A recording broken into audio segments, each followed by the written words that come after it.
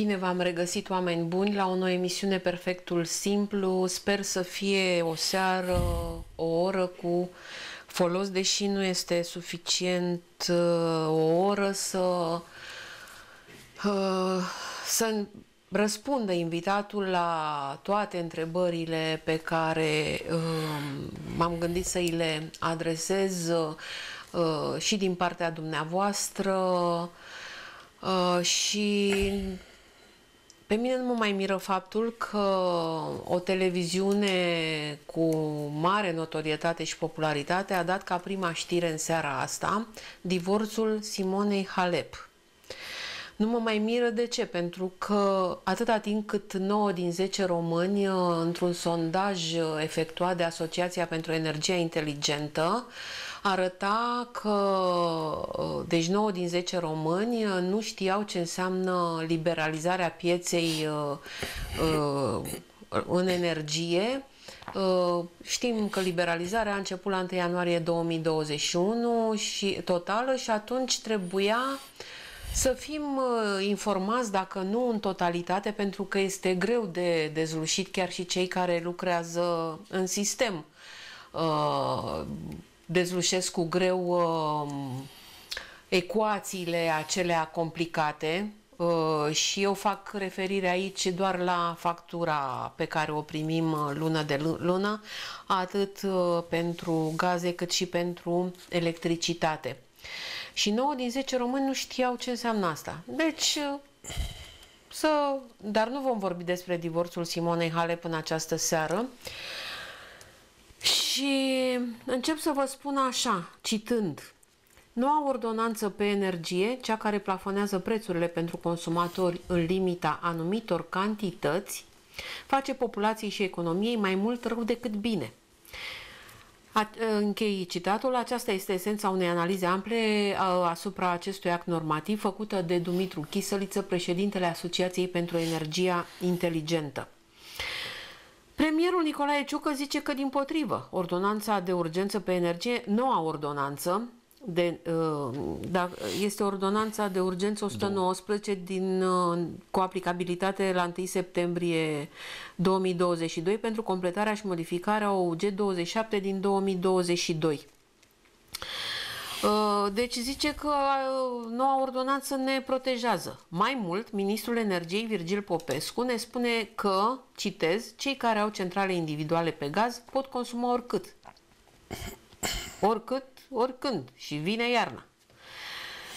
Autoritatea Națională pentru Reglementare în Energie, ANRE, arbitrul pieței de energie din România, susține că ordonanța privind plafonarea factorilor încalcă flagrant, așa Uh, este citat, regulile Uniunii Europene. Adică e nasol, zic eu, țara noastră riscă sancțiuni pe care tot noi cetățenii o să le plătim. Adică intră, riscă să intre în procedură de infringement. Ce să mai înțelegem, pe cine să mai credem?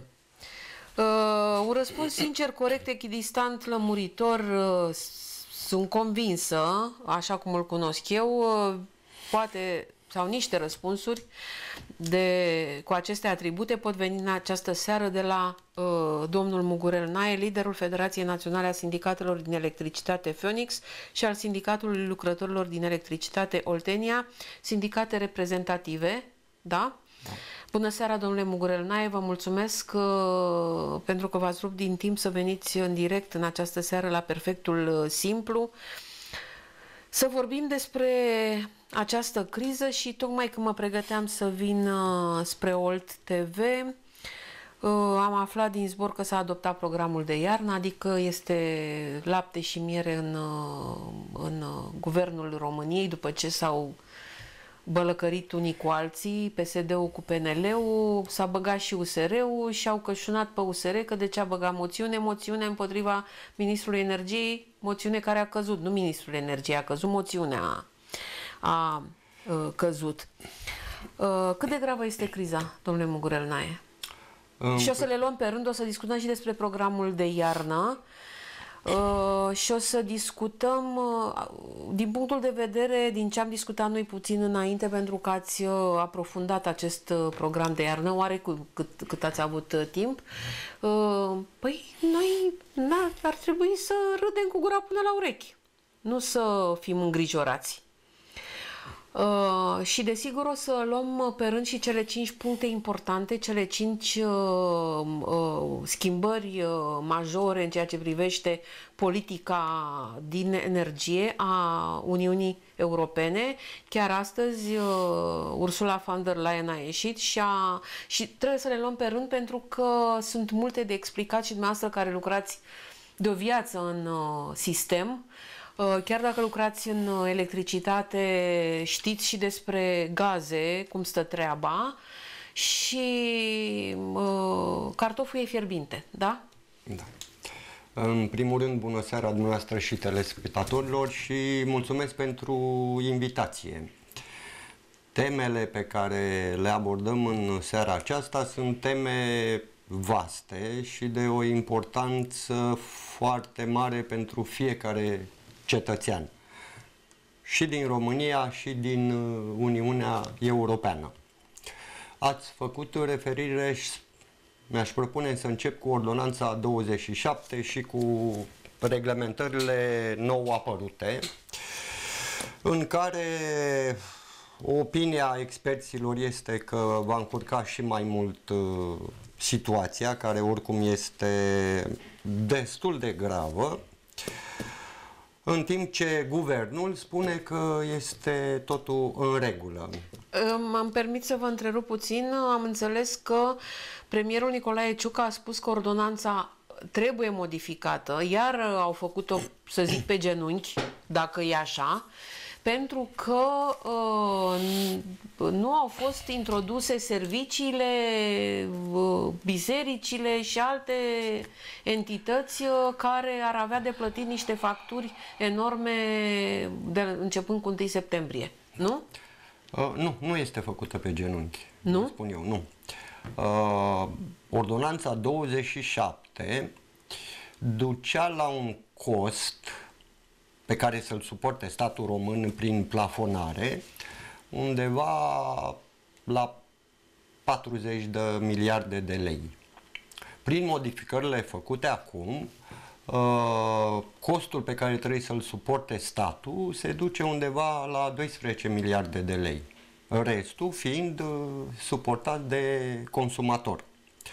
Și ca să încep discuția și să fiu bine înțeles, indiferent ce se va întâmpla cu energia sau cu gazul, cu plafonări și așa mai departe, cel care plătește, într-un final, este consumat, cetățeanul, cetățeanul român.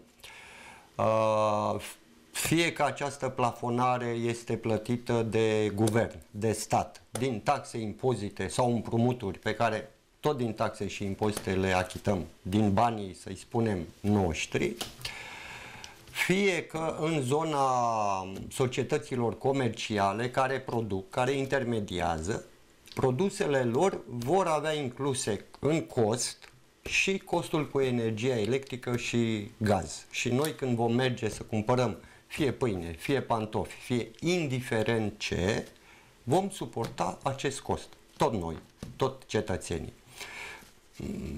Deci, pe de o parte, pe lângă facturile, deși ne spune că putem să consumăm oricât gaz, eu sper ca românii să nu dea drumul acum la robinetul de gaze și să consume până nu mai pot, da? da.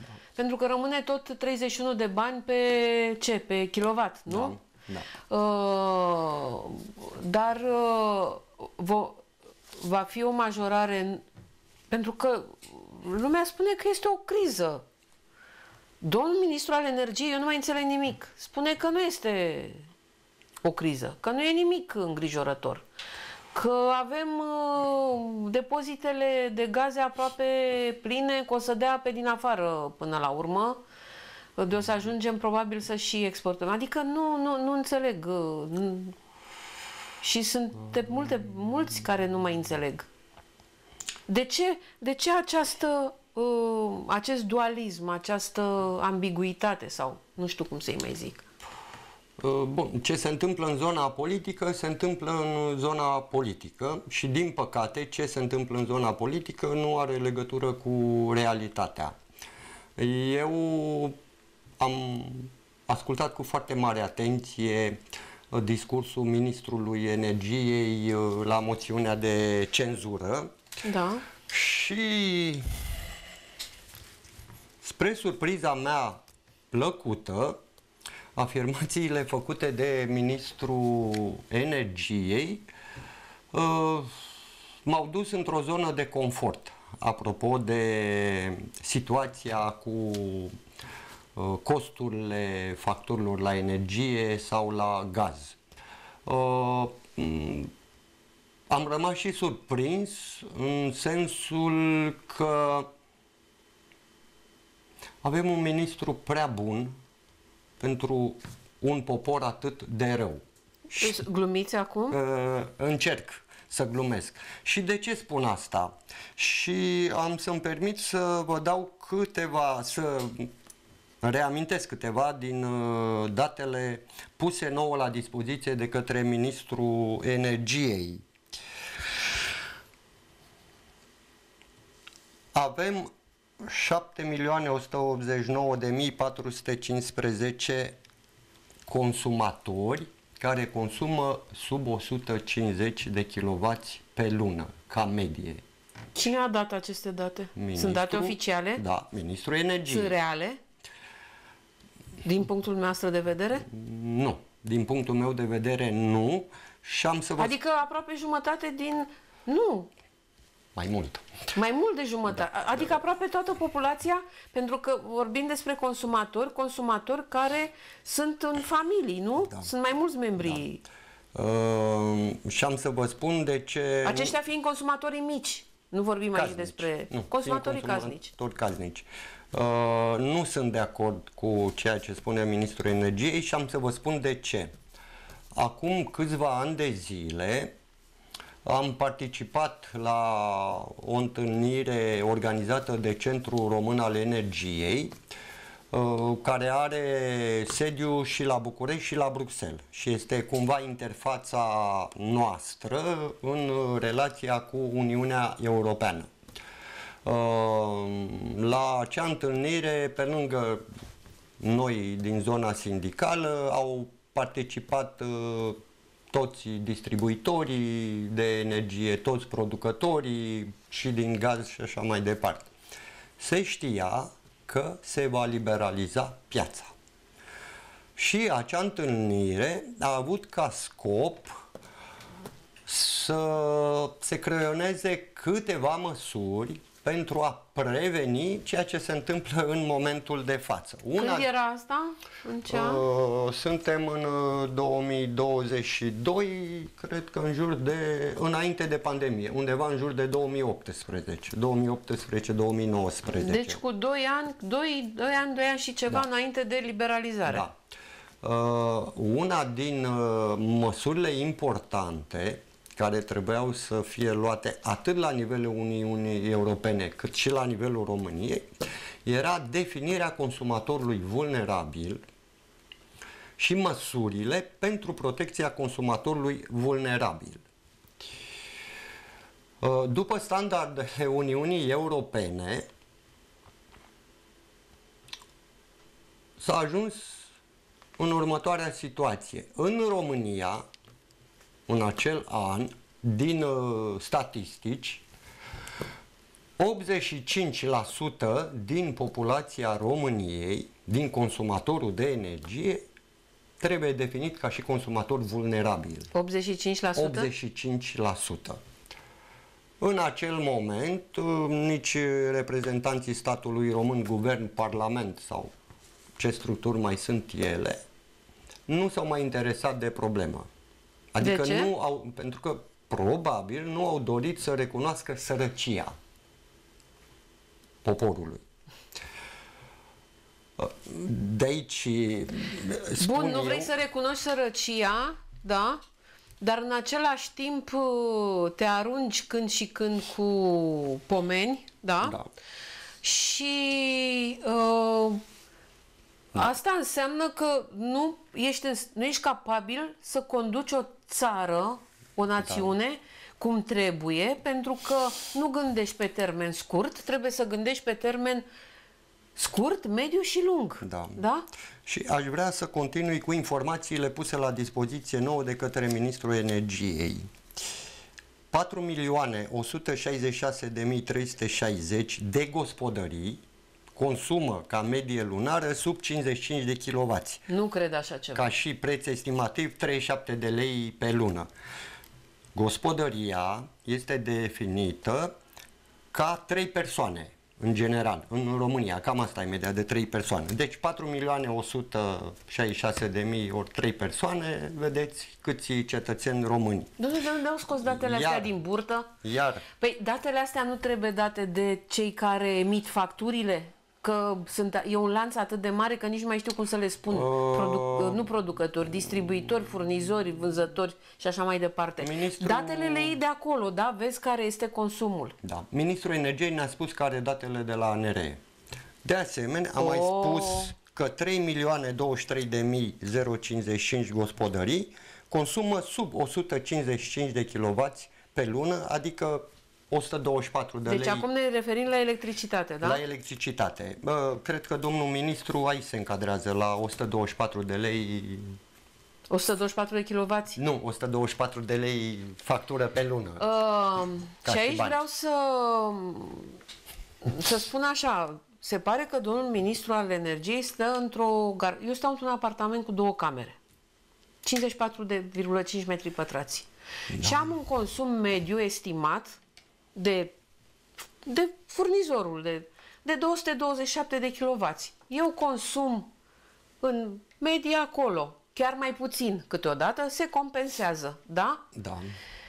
Și nu am, am și o aparatură care nu consumă foarte mult, am avut grijă, am becuri uh, economice în casă, îmi permit un aer condiționat, să zic, da, un mic uh, confort eu nu înțeleg totuși cum domnul stă într-o garsonieră sau unde stă? Sau pe un hol? Liber. Sau, sau un aer liber sau da. pe un hol. Nu știu, o să ar trebui să ne dea rețeta economiei, pentru că de fapt domnul esența M-am uitat și eu la domnul ministru Virgil Popescu. Nu am nimic cu domnia sa. Uh, deși am o problemă când văd cum ocolește răspunsurile sau întrebările care îi se adresează în mod direct de, de jurnaliști care să, chiar sunt pe domeniu. Uh, să ne dea într-o zi uh, rețeta, tot, tot, tot vorbește despre economie, să economisim, să economisim, să economisim. Păi dacă ordonanța asta e atât de bună cu noi, de ce trebuie? Adică, pe de o parte ne spune să economisim și după aceea vine și spune la gaze puteți să consumați oricât, că prețul rămâne același. Pentru ce perioadă rămâne aceeași? Scuzați-mă, am făcut atâtea paranteze pentru că e, uh, bun, acum, e un haos. Uh, dacă studiem ordonanța și completările, modificările făcute, într-adevăr, ordonanța mai mult încurcă decât descurcă situația... Asta 119 de acum. Da, în care ne aflăm. Uh, vom vedea acolo următorul uh, fapt.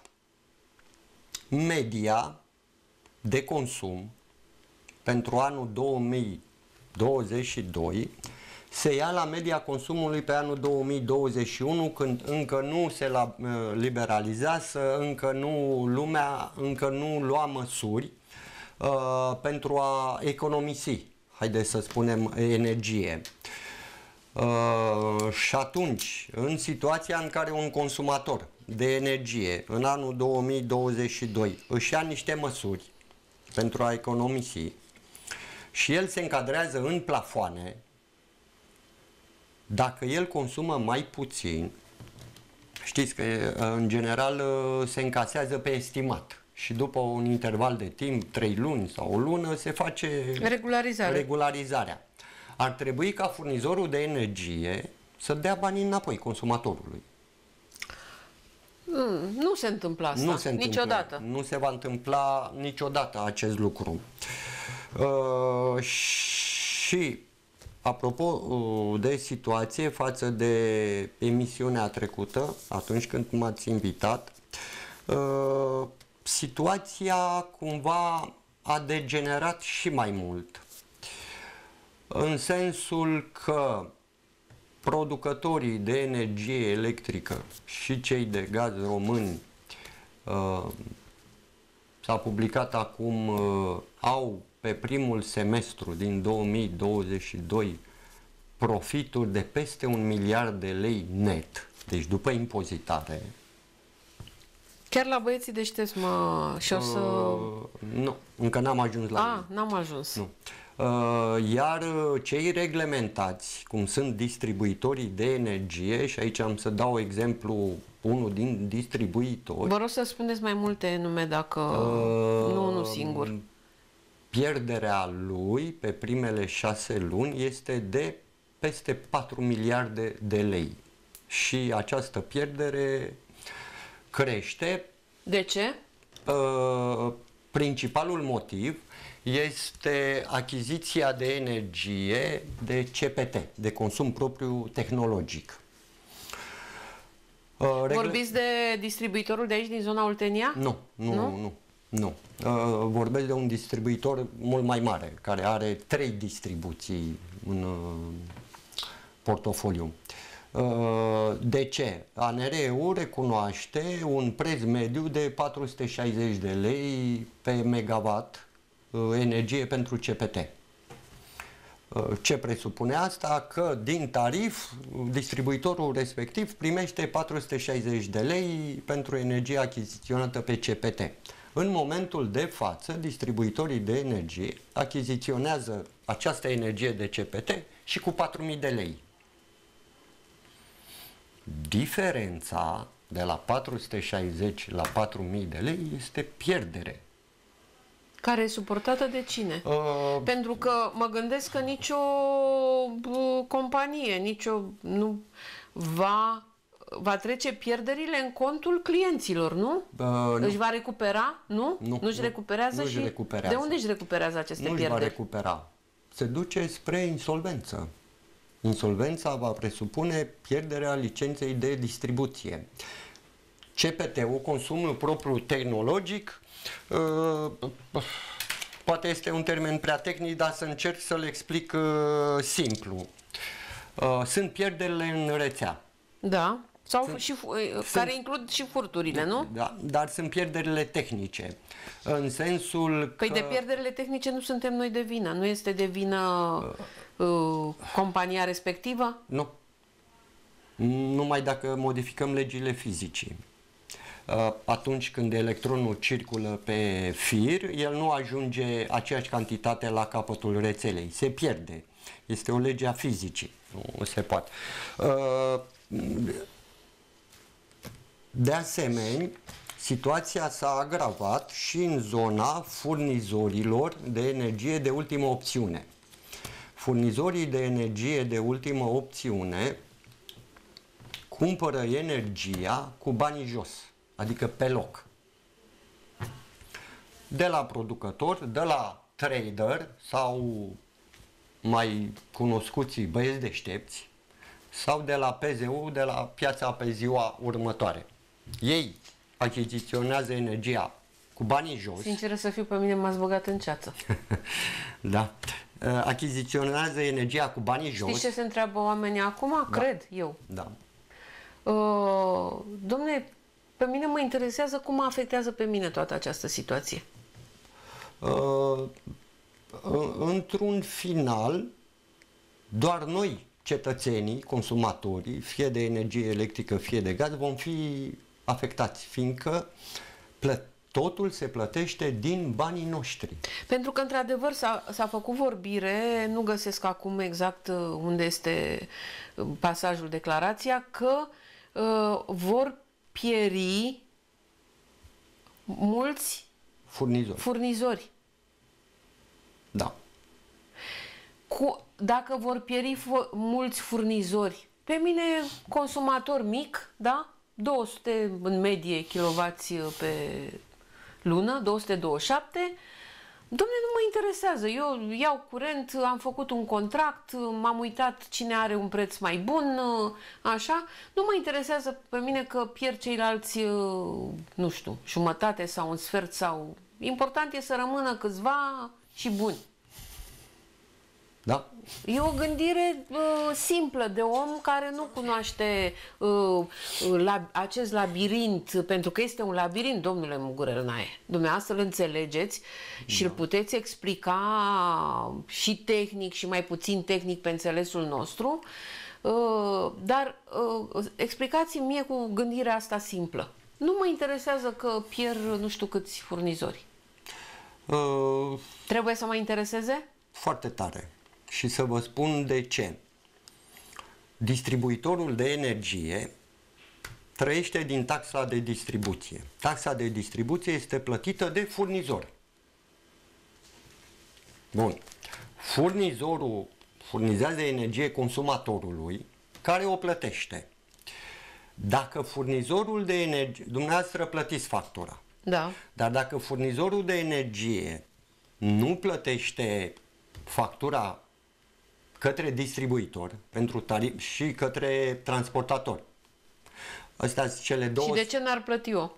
Uh, păi, pe de o parte, pentru că statul prin plafonare și-a asumat ca o parte din costul energiei să o plătească el și, și nu, nu o plătește. Și nu o plătește.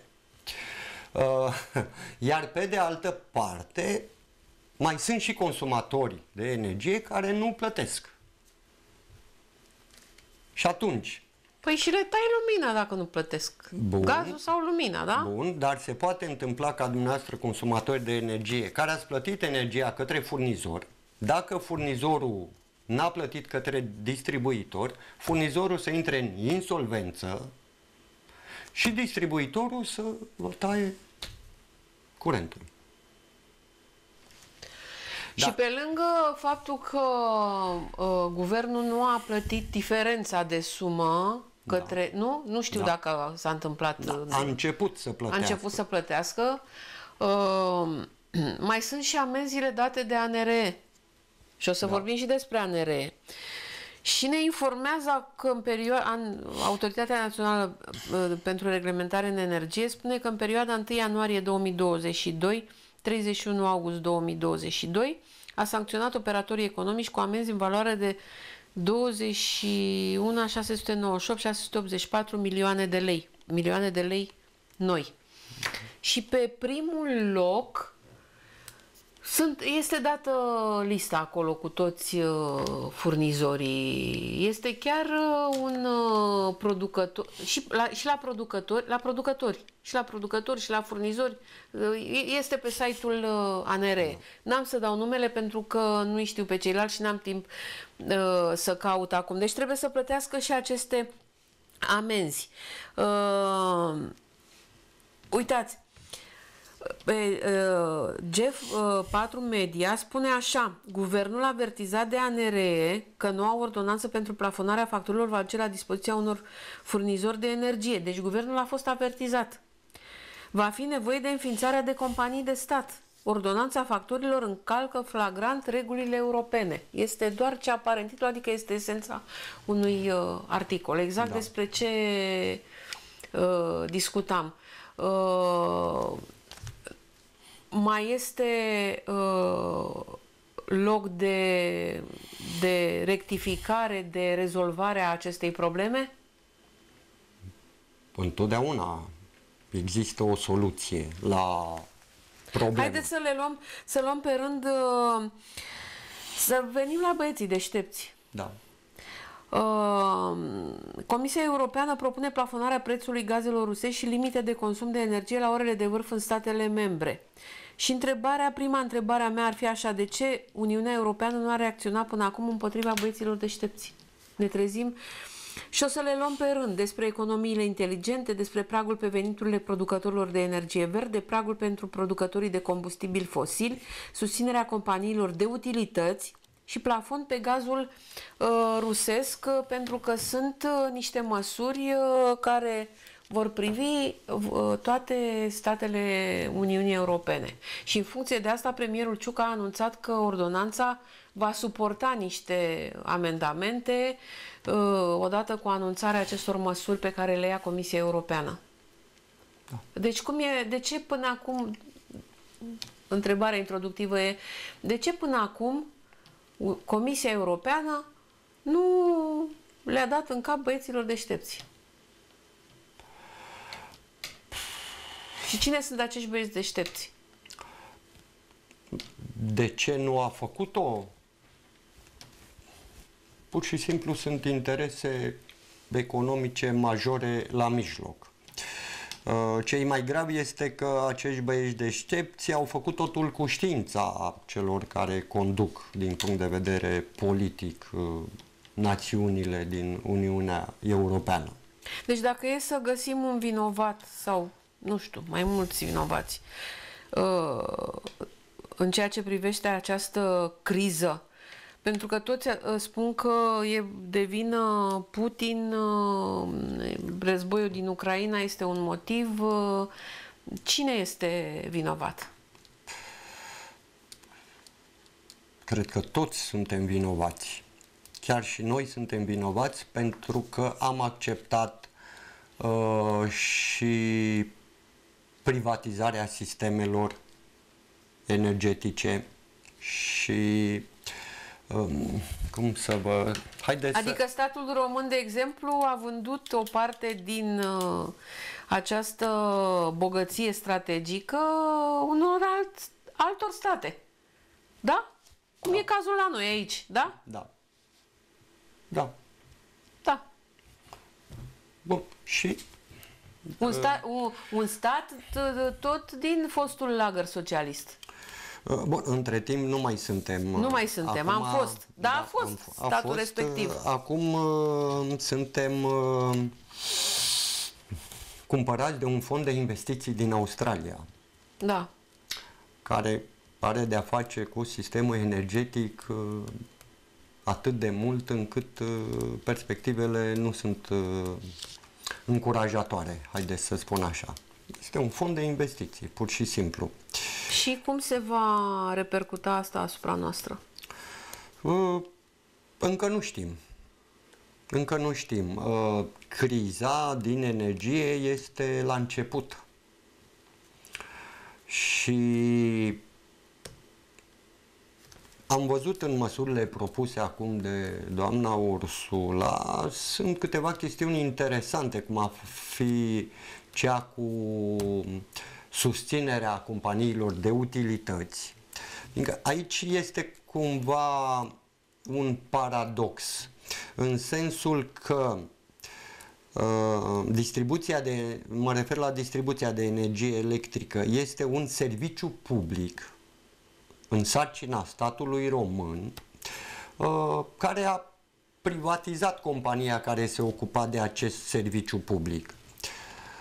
Uh, în sistemul energetic, de la producător și până la furnizor, avem două zone care sunt puternic reglementate de către ANRE, și anume zona de transport de energie și zona de distribuție. Uh, pe bază de tarif. Ori, dacă piața e liberă, și ea este liberă în momentul de față, aceste două zone n-au fost și nu vor fi niciodată libere. Ele sunt reglementate de ANR, de reglementator. Păi, pe de o parte suntem serviciu public în sarcina statului român, pe de altă parte avem zone care sunt reglementate și care nu sunt libere. Deci transportatorul de energie și distribuitorul de energie nu e liber să facă ce vrea el. El este sub... Uh, păi și e normal acest hibrid? Uh, nu știu dacă e normal sau nu, dar consecințele ne pot da un răspuns. Consecințele la tot ce s-a întâmplat în sistemul energetic începând din 1990 încoace. Fiindcă întotdeauna noi avem tendința uh, de a ne focusa pe efecte și nu pe cauze. cauza tot ce se întâmplă în momentul de față este, cum am mai spus-o, uh, decizia de liberalizare a pieței, fără să pregătim piața, fără să pregătim consumatorii, acei consumatori vulnerabili. Da, asta voiam să subliniez uh. și bine că ați spus acest lucru. Poate că mulți se miră, domne, noi vrem să știm, uh, vedem care sunt efectele, vrem să știm cum se rezolvă. Da. Păi ca să vezi cum se rezolvă, trebuie să te duci la cauză, da? La cauză. Și este foarte important, chiar dacă unora dintre dumneavoastră li se pare pierdere de timp să discutăm uh, despre cauzele a tot ceea ce uh, suportăm toți acum, uh, nu, este, nu este un timp pierdut și îmi permiteți foarte repede să uh, Uh, citez din doamna Ursula von der Leyen uh, uh, despre susținerea companiilor de utilități da. și spune așa, în al patrulea rând, companiile de utilități energetice trebuie sprijinite pentru a face față volatilității piețelor, exact despre ce spuneați. Da. Li se solicită în prezent să cumpere la prețuri neașteptat de mari, ceea ce amenință capacitatea de tranzacționare și stabilitatea piețelor, a spus șefa Comisiei Europene. Da. Da. Uh, asta este o veste bună, da? Asta înseamnă că vor veni bani din uh, bugetul mare al uh, Uniunii. Să vedem cum, cum. Probabil că se va, că merg acolo reprezentanții fiecarei țări să spună cum stau lucrurile. Dar dacă se duce domnul ministru cu vești, cu situația aia, nu știu ce. Noi da. ce mai, mai primim? Că nu. o să zică că e foarte bine la noi. Neașteptat de bine. Deci că avem și gaze cât cuprinde. Um, bun. Um, prag pentru producătorii de combustibil? Nu. Voiam să citesc despre altceva. Uh, prag pe veniturile producătorilor de energie verde. Da? Este important? În al doilea rând vom propune un plafon pe veniturile companiilor producătoare de energie electrică cu costuri reduse. Există și la noi, nu? Da.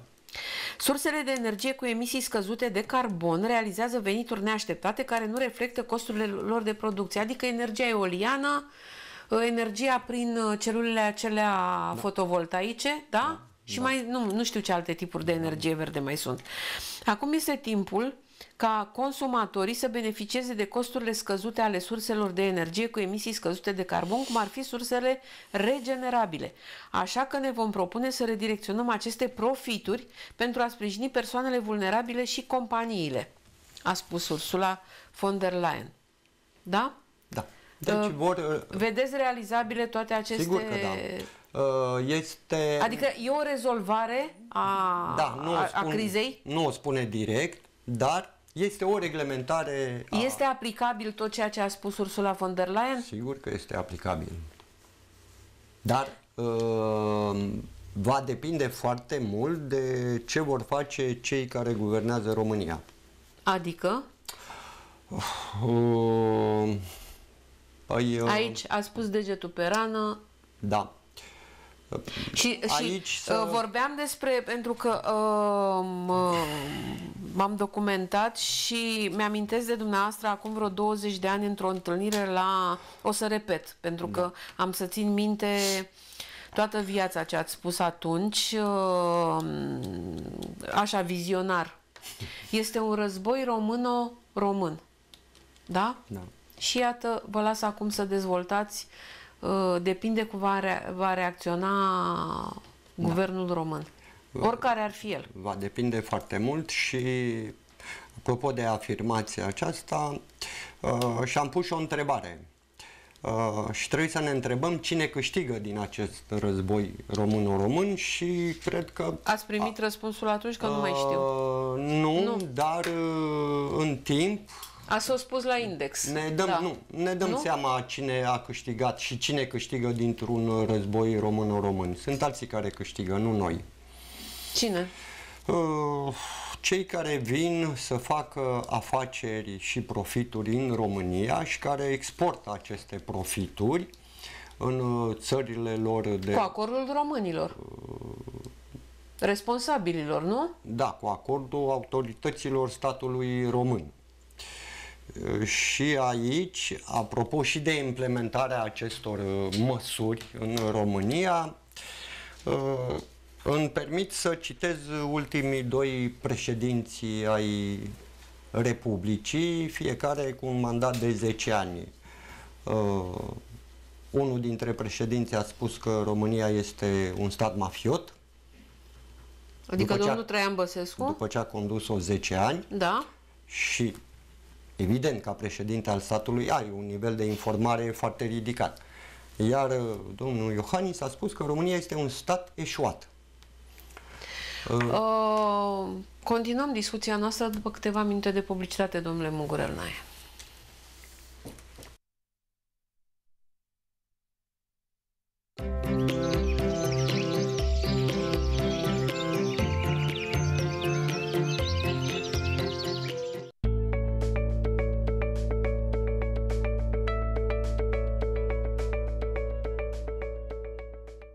Pentru o viață sănătoasă, faceți mișcare cel puțin 30 de minute în fiecare zi.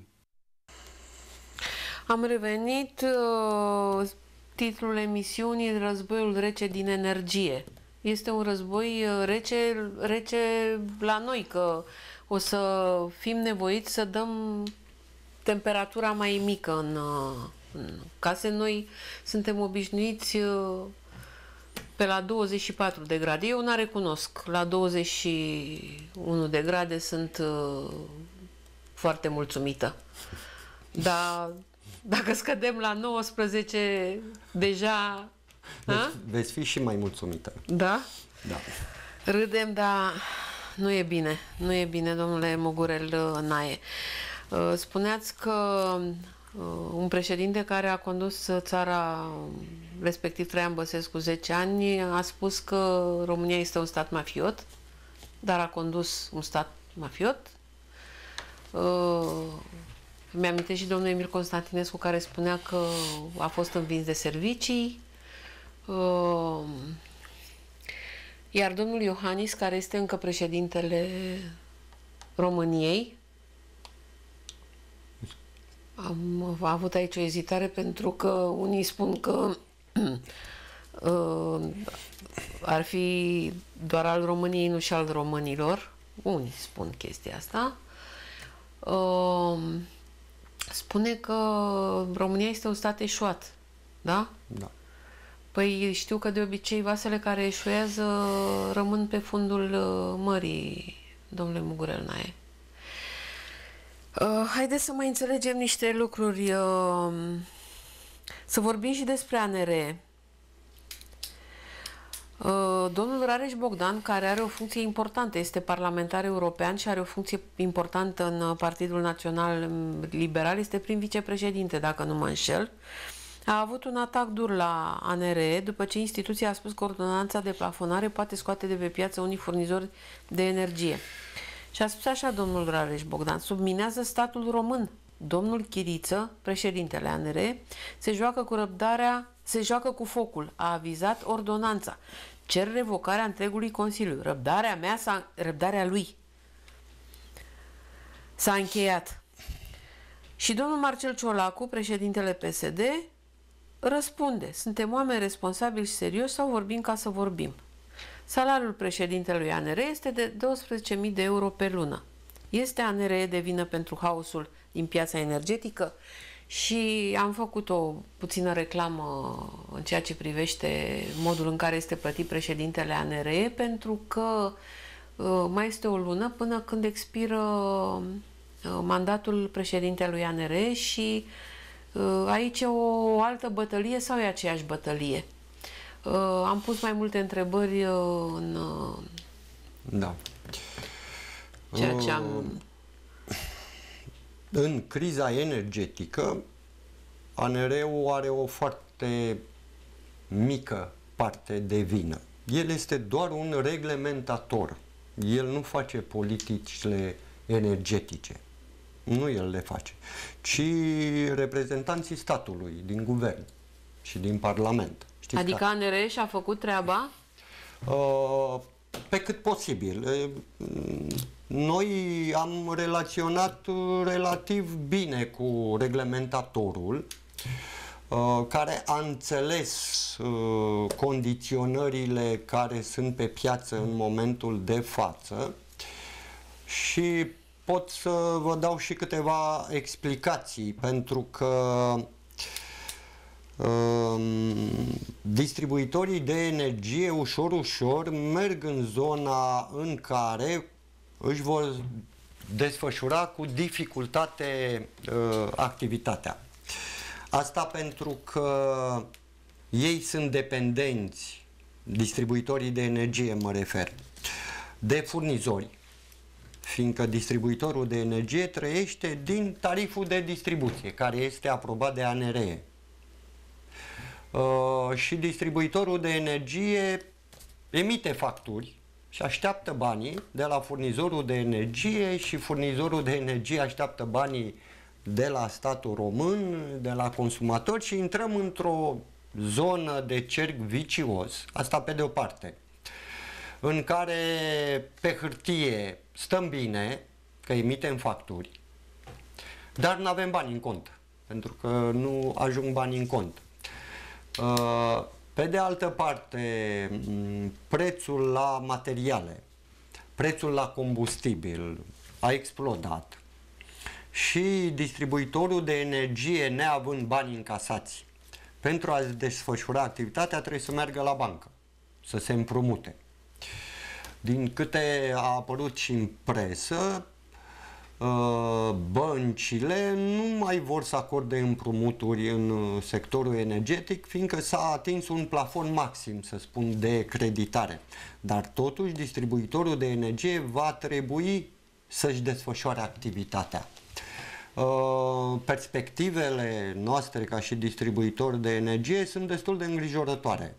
Asta nu pentru că nu ne-am face treaba, ci pentru că tot acest cerc vicios ne duce într-o zonă în care există riscul la un moment dat să nu mai avem bani uh, să ne desfășurăm activitatea, să cumpărăm materiale, să plătim salarii, și aici este o chestiune care pe noi uh, din zona sindicală ne îngrijorează foarte tare, fiindcă în, din experiența noastră de până acum, întotdeauna uh, companiile au avut o metodă destul de simplă de a acoperi o parte din pierderi și anume disponibilizări de personal. Și suntem extrem de îngrijorați din această perspectivă. Uh, știu că aveți niște, urmează să aveți niște întâlniri, ați mai avut? Uh, niște întâlniri foarte importante pentru că, pe de o parte, sunteți și dumneavoastră un consumator ca și mine, ca și toți cei care da. ne privesc acum și, da. pe de altă parte, uh, lucrați în sistem și aveți o responsabilitate, sunteți lider de sindicat de ani de zile, uh, sunteți și într-un sindicat sau sindic, sindicat mare da. și uh, trebuie să veniți cu niște răspunsuri, uh, adică mă gândesc că oamenii sunt foarte îngrijorați, da? Da. Uh, ce așteptări aveți de la aceste întâlniri? Cu cine urmează să vă întâlniți? Dar înainte de asta, aș vrea uh, ca să nu uit, pentru că nu mai avem foarte mult până la sfârșitul emisiunii, avem o întrebare de la o doamnă Uh, și pentru că și-a pus numesc doamna Sabina Scoican, spune așa Bună ziua, doresc să întreb și eu, sunt persoane care din motive medicale, cum este soțul meu cu aparat de oxigen și dependent de el, consumă energie electrică mai mult de 300 de kW pe lună. Ce este de făcut? Ce, ce sfătuiți pe doamna? Ce să facă? Pentru că noua ordonanță a plafonat uh, consumul uh, la da. 255 de, de la 300 la 255 de kW uh, pe lună. Da. La care acordă un preț, uh, un preț. Da. Bun. Uh, din păcate, pentru doamna nu voi avea un uh, răspuns pozitiv. În momentul de față, aceste situații de excepție nu sunt reglementate. Deci doamna va plăti un preț uriaș pentru Și chiar și de 10 ori mai mare, am înțeles, uh, da. Fiecare kilowatt. Uh... Dar vă puteți duce la întâlnirile pe care o să le aveți da. cu aceste probleme? Da. Da, eu uh, îi promit doamnei că la întâlnirile pe care le vom avea, sper că le vom avea Cu cine? uh, și cu ANRE-ul și cu Ministerul Energiei, voi ridica această problemă și voi încerca să o rezolv uh, pentru cei care sunt în situații de acest gen, că sunt, sunt Situații sociale, da. so- situații sociale. Uh, De asemenea, deci îi promit acest lucru, că voi face aceste demersuri pentru a a fi reglementată în uh, ordonanță atunci când se vor face modificări aceste situații. Adică e o categorie specială de consumator vulnerabil, da? Da, da, sigur că da. Uh, și de asemenea pot să-i promit doamnei personal uh, și prin intermediul dumneavoastră uh, că am să fac demersuri către mm, companie, către distribuitor să vedem dacă putem să găsim înțelegere și o soluție pentru această situație. Da, o să ținem legătura și cu doamna să, să vedem uh, cum uh, Da. să, să găsiți o rezolvare a acestei uh, uh, probleme. Uh, cu cine urmează să vă întâlniți? Deci sindicatele se întâlnesc cu... Uh, Noi am avut o întâlnire la nivel de președinți de federații din sector, sectorul însemnând energie, petrol, gaz, mine. Um, Avem, o, cum să spun eu, un calendar. Fiecare federație s-a întâlnit în interiorul ei cu toți liderii de sindicat în care au dezbătut uh, situația la fiecare companie și în fiecare sector. Noi, de exemplu, avem întâlnirea săptămâna viitoare.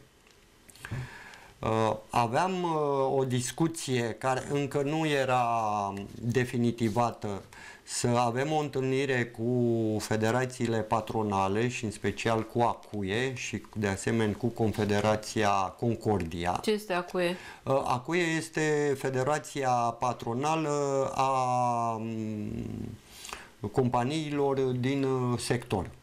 Uh, întrebarea mea, de fapt, ar fi așa. Are, uh, uh, sindicatele au un rol uh, și pentru ceilalți consumatori, nu doar pentru angajați, nu pentru cei pe care îi reprezintă? în- Pot avea un rol determinant? Mm, Nu. Prin Nu. lege nu. Prin lege Prin nu. lege uh, eu sunt condiționat în acțiunile mele și acțiunile mele țin doar de interesul economic, social, profesional al uh, salariaților pe care îi reprezint. Dar în calitate de cetățean, sigur că vom face aceste demersuri. După întâlnirea pe care noi să o avem la nivel de federații sindicale și federații patronale, uh, ne dorim să avem o întâlnire cu ANRE-ul, cu reglementatorul și apoi să avem o întâlnire și cu Ministerul E- Energiei în care să analizăm situația în care să ne aflăm și în care să găsim soluții uh, care să ajute companiile din sistem și indiferent de ajutorul pe care noi ni-l dorim pentru companiile din sistem, cele afectate de situația. Da. Important este consumatorul de energie, el trebuie ajutat, el este ținta pentru că el plătește. Domnule Mugurel Nae, din tot acest lanț, pentru că este un lanț mare, uh, cine ar trebui eliminat? Uh, Și eu mă gândesc că mai am discutat și la emisiunea trecută despre uh, trader, nu? Atunci am aflat și eu că există trader, adică cum sunt numiți la piață precupeții, nu? Da. Cei care se duc la poarta bă, producătorului agricol și cumpără uh, legumele cu 50 de bani și le vând cu 5 lei, nu? Este un termen mai bun, bișnițari. Ah, bun. Da?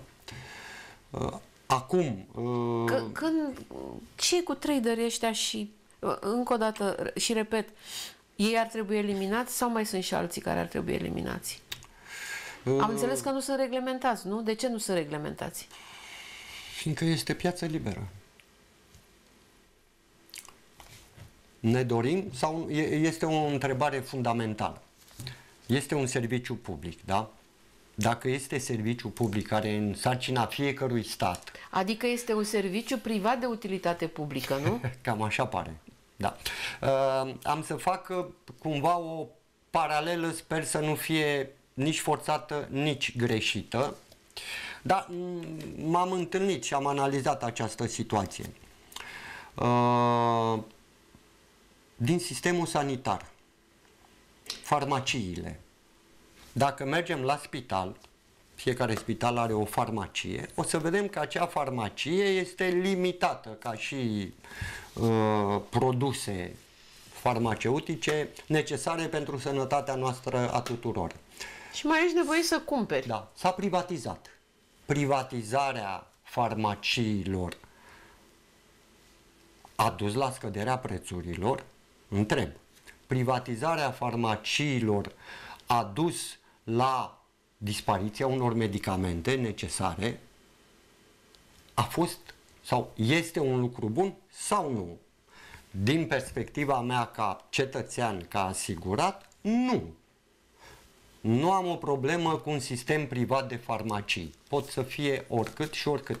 Dar este obligația statului rămân să-mi asigure un sistem de farmacii ale statului de care eu să beneficiez.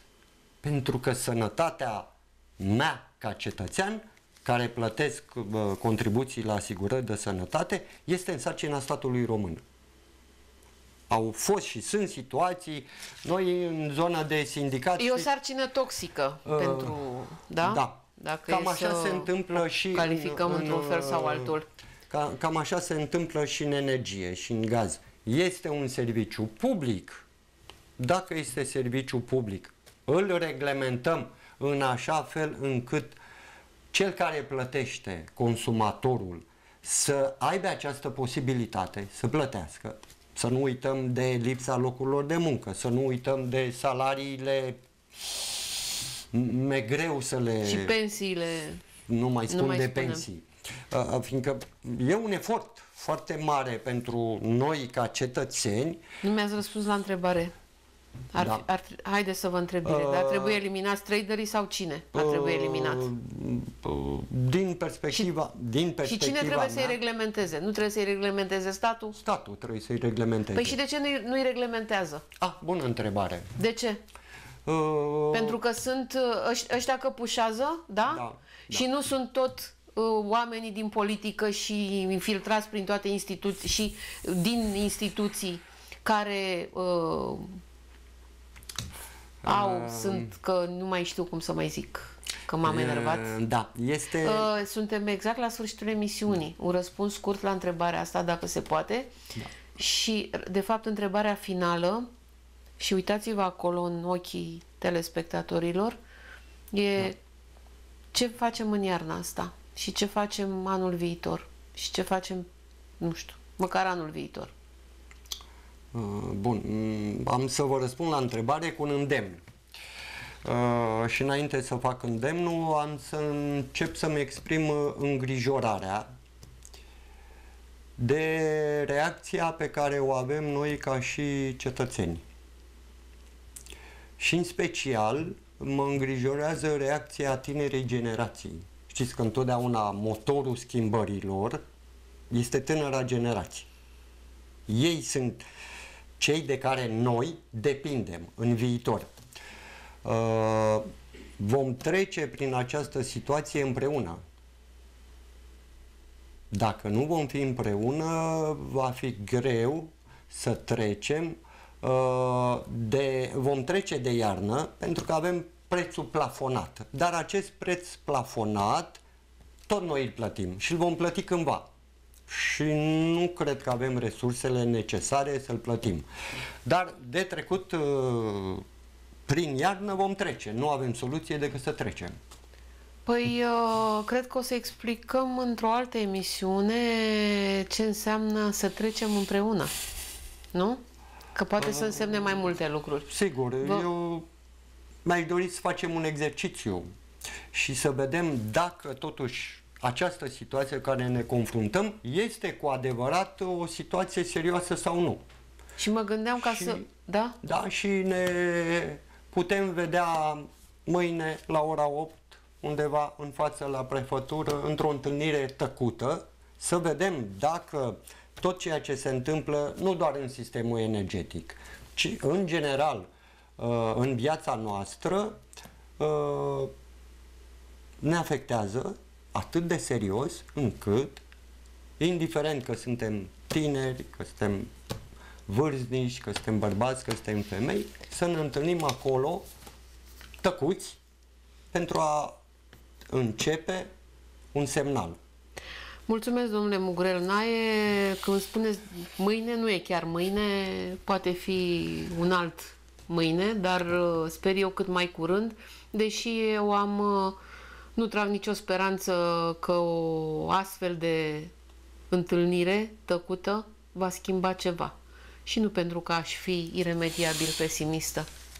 Oameni buni, vă mulțumesc. Să trecem uh, cu bine de aceste zile, de aceste săptămâni, de această iarnă și de ce o mai veni. Ne vedem miercurea viitoare tot aici la Perfectul Simplu. Toate cele bune!